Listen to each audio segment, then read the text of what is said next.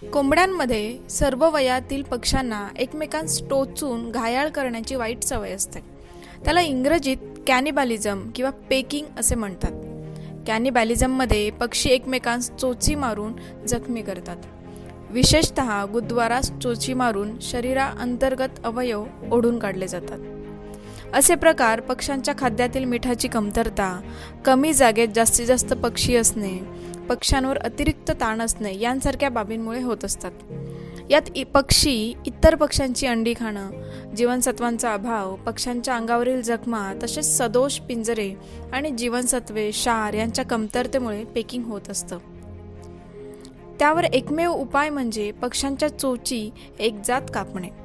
चोची कापण्यासाठी डीबिकर नावाचं एक मशीन वापरलं जातं. त्या यंत्रामुळे पक्ष्यांना त्रास होत नाही. एकदा चांगली कापून बोथट केलेली चोच फारशी वाढतही नाही. या विजेवर चालणाऱ्या यंत्रात एक तापलेलं लाल भडक धारदार पातं असतं. त्या पात्याने वरची आणि खालची चोच स्वतंत्रपणे कापली जाते.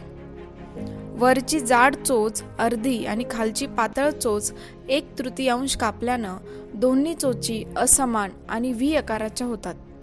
चोची कापल्यानं पक्षातील एकमेकांना टोचणं बंद होतं. तसेच दाणे न टिपता संपूर्ण खाद्य खाणं पक्ष्यांना भाग पडतं. संतुलित खाद्याने पक्ष्यांचे आरोग्य सुधारते. Bureau report Agrowon digital. ताज्या अपडेटसाठी भेट द्या ॲग्रोवन डॉट कॉमवर.